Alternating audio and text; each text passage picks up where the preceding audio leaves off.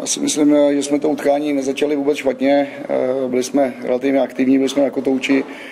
Bohužel na, naše zakončení bylo laxní. Měli jsme tam šance, s kterými jsme měli naložit líp a, a to trošku, trošku nás potom stálo. Si myslím, že to štěstí, štěstí se odklonilo a, a to utkání rozhodly dvě rychlé branky. A, a bylo snad v jedné minutě darovaný. Pak už jsme to tlačili do kopce, a měli jsme spoustu střel, ale jak říkám, dneska naše zakončení prostě nemělo ty parametry, aby jsme mohli góla a proto jsme prohráli.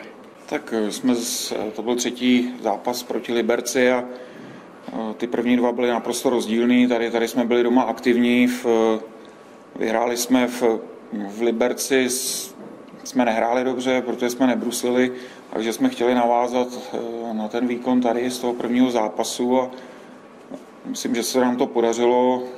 Samozřejmě Liberec je velmi kvalitní tým, takže nás místama přehrával, ale i my jsme si vytvořili dneska šance a dneska musím všechny kluky pochválit a obzvláště našeho brankaře Denise Hodlu.